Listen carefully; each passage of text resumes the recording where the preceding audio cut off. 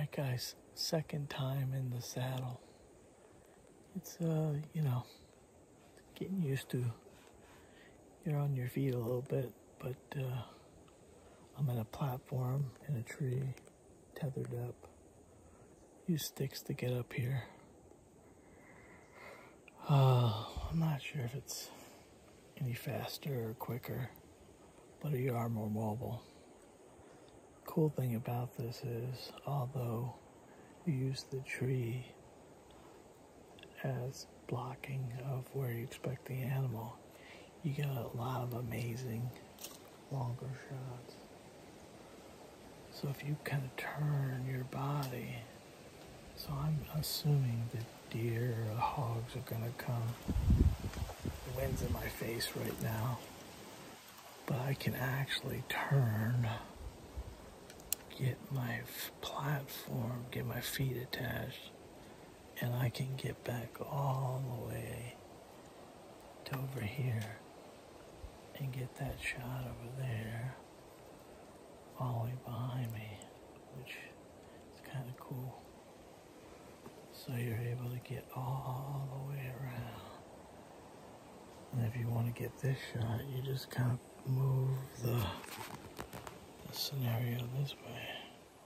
So what the saddle does for us, it gives us super mobility. This is the shot I think we're gonna get. But I can actually get this whole, I can rotate around the tree and get all this. There's that there. There's a little spot right there in the bushes you can get you could come all the way around and get behind us with this shot, which is pretty cool. And then if you want, you can actually take the bow over your tether and get these shots over here if you wanted to. Woo! That was a long walk. All right, guys, that's the end of the second weekend of archery for me. I was in a stand this evening and got to see a big 150 pound hog, which walked right underneath my stand. I didn't get my shot because my bow holder was stuck on my string and I went to go get the bow off. It kind of uh, grabbed a hold of the, the bracket as well as the bow and I couldn't get it off fast enough as well as the hog was moving pretty good. It physically got to the other side of the stand. That's where the wind was going, and it smelt me and ran off.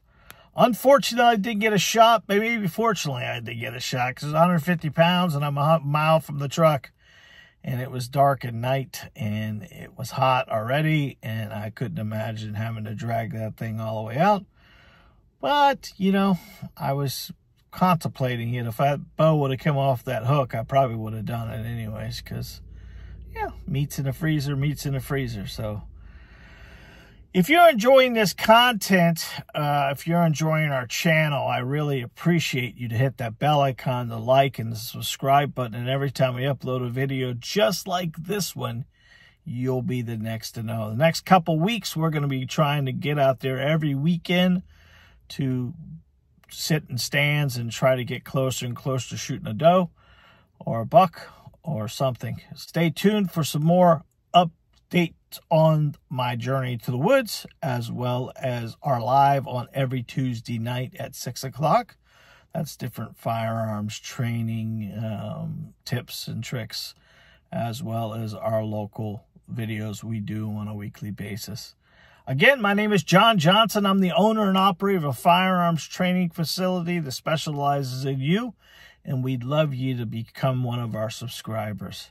Until next time, God bless, be safe, and remember, you are your first line defense. I love you guys. We'll see you on the next time. Bye-bye.